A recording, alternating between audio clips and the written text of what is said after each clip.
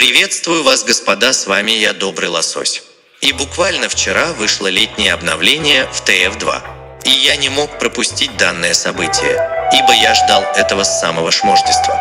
И заранее хочу извиниться за долгое отсутствие. Надеюсь, вы это примите. Ну а теперь начнем. Первое, что появилось в данном обновлении, это, конечно же, новый кейс с аксессуарами. Кстати, названия многих предметов я говорить не буду, ведь они на английском, а я пишу через русскую говорилку. И первым является каска с глазами на солдата. Выглядит не так уж и плохо, но в сравнении с другими летними шапками солдата это плохо. Дальше у нас еще одна шапка на солдата под названием Роминг Роман. Думаю, вы знаете такую шапку под названием «Непокорный спартанец».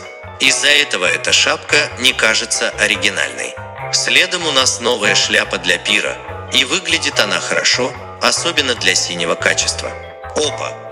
Новая шапка на снайпера, которая выглядит слишком тупо. Нет, я серьезно. Она слишком странная и фантастическая. Фрайт Баттер.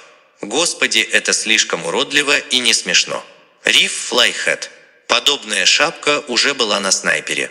Ту Панчмен. Звучит как One Punch Man и выглядит довольно забавно. Hook, Line and Thinker. Боже мой, это же пойманная рыба. Для меня это как увидеть убитого человека. Но мне нравится, ведь рыба это самое лучшее создание. Ну почти. Mandatory Attire. Вау, это лучший предмет синеги качества. Вы понимаете, что это галстук с разными принтами для каждого класса, плюс еще и стилями на выбор. Неудивительно, что она так дорого стоит. Ладно, с синим качеством мы закончили. Перейдем-ка мы к фиолетовому качеству. Сайтлайтер. О боже, я это видел в мастерской Steam, и это мне так понравилось, что я даже за это голосовал. Это турель на голову инженера с камерой вместо ствола. Круто! Крокодил Данди. Это лучший аксессуар в данном кейсе. Вы посмотрите на это. Я давно не видел крутых аксессуаров на снайпера. И тут выходит это. Здесь я вижу набедренную сумку, нож и жилетку в виде крокодила. Класс. Мил дилер – это мусор. Просто мусор ради тупого сета на скаута. Ватер Ватерс. Почему это фиолетовое качество? Это выглядит очень скучно. Снэкстек. Огромный бутерброд на голову Хэви. У меня все. Переходим к следующему качеству. Панишор. Ахах, солдату огрели голову сковородой. Классная вещь. Фастфуд интересно, но мусор. Капюшон на шпиона в виде спайкраба. Valve до сих пор помнит этот мем. Спасибо. Ну и, наконец, красное качество. Балунипфонс.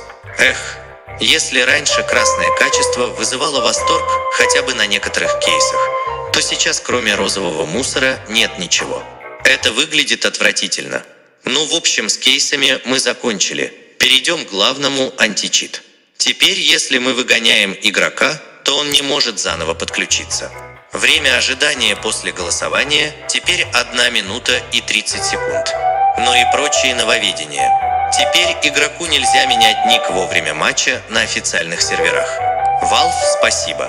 Теперь я не буду видеть людей, которые меняют свое имя на Доктор Кам. Ну а дальше нечего особенного. Хотя нет, есть кое-что, что я ждал месяц, но этого не произошло. Valve, где медали за 1 апреля от Pineapple TF. Мы уже три месяца ждем. Я потратил кучу времени для того, чтобы пройти там все миссии. Обычно вы их добавляли быстрее. Ну и на этом, я думаю, все. Всем спасибо за просмотр. Всем удачи и всем пока.